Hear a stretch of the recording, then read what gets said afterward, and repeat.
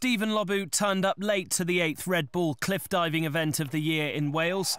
His flight from the US was delayed. But in the end, the jet lag turned out to be a bonus. He said he didn't bother planning his dive because he was too tired.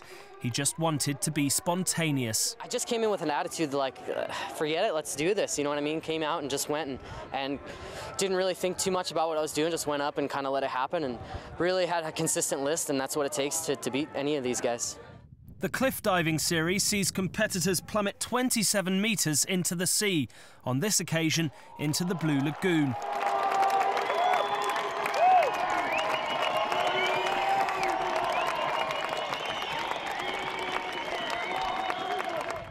With one meet to go in the series, Orlando Duque leads with 840 points. Britain's Gary Hunt is second with 770. And Steven Lobue is now third. The final round will be held in Oman at the end of this month.